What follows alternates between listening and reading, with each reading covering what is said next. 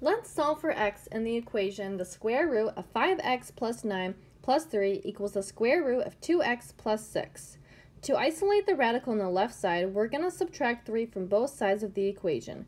This gives us the square root of 5x plus 9 is equal to the square root of 2x plus 3. Now we can square both sides of the equation to eliminate the radical on the left side.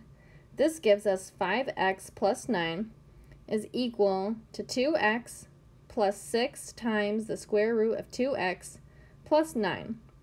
Now we want to isolate the radical on the right side, so we're going to subtract 2x plus 9 from both sides of the equation. This gives us 3x is equal to 6 times the square root of 2x. Now we can square both sides of the equation to eliminate the radical on the right side, giving us 9x squared is equal to 36 times 2x. If we multiply the right side out, this gives us 9x squared is equal to 72x. If we want to solve for x, we want the right side to be equal to 0. So we're going to subtract 72x from both sides of the equation, giving us 9x squared minus 72x is equal to 0. Here we can factor out a 9x, giving us 9x times x minus 8 is equal to 0.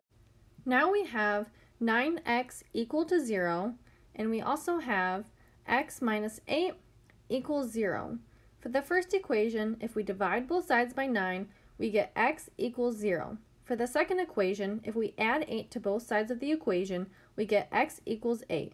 Now we have to check for extraneous solutions. We'll start with checking x equals 0 by plugging 0 into the original equation. This gives us the square root of 5 times 0 plus 9 plus 3 equals the square root of 2 times 0 plus 6. This becomes the square root of 9 plus 3 equals the square root of 0 plus 6, which finally becomes 6 equals 6. This is correct, so x equals 0 is one of our answers. Now we'll check for x equals 8 by plugging 8 into the original equation. This gives us the square root of 5 times 8 plus 9 plus 3 equals the square root of 2 times 8 plus 6. This becomes the square root of 49 plus 3 equals the square root of 16 plus 6. This becomes 10 equals 10, which is correct.